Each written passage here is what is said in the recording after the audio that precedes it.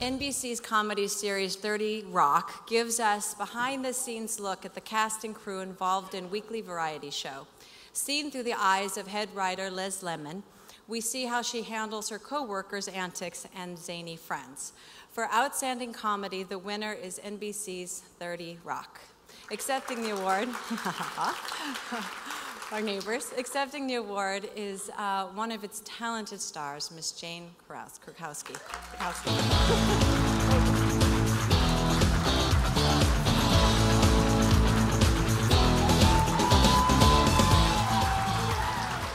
Hello. Am I supposed to touch this? Don't touch this. Um, Thank you so much. On behalf of the entire cast and crew of 30 Rock, we would like to say that we are very, very grateful to receive a Gracie tonight.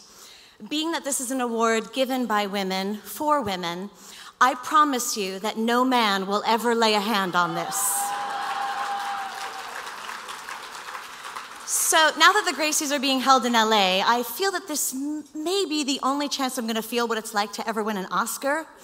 So I hope you will indulge me and let me give you the last few lines of my fantasy Oscar acceptance speech. Thank you. Thank you, Academy. Oh, God, the music. Mr. Conductor, the music is already playing. This is for blonde Polish girls everywhere. Thank you.